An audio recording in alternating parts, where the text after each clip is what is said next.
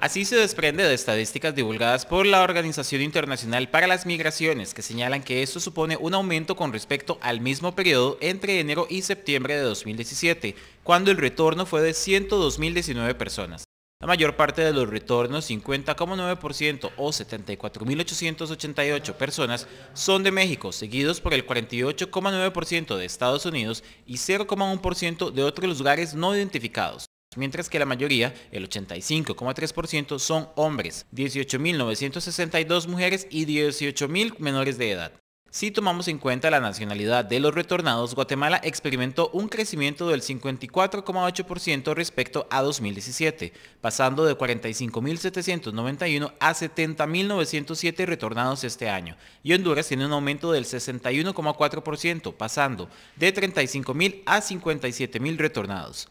El Salvador es el único de los tres países del Triángulo Norte que ha experimentado una reducción de retornados, en este caso del 9,4% al pasar de 20.901 retornados en 2017 a 18.940 este año.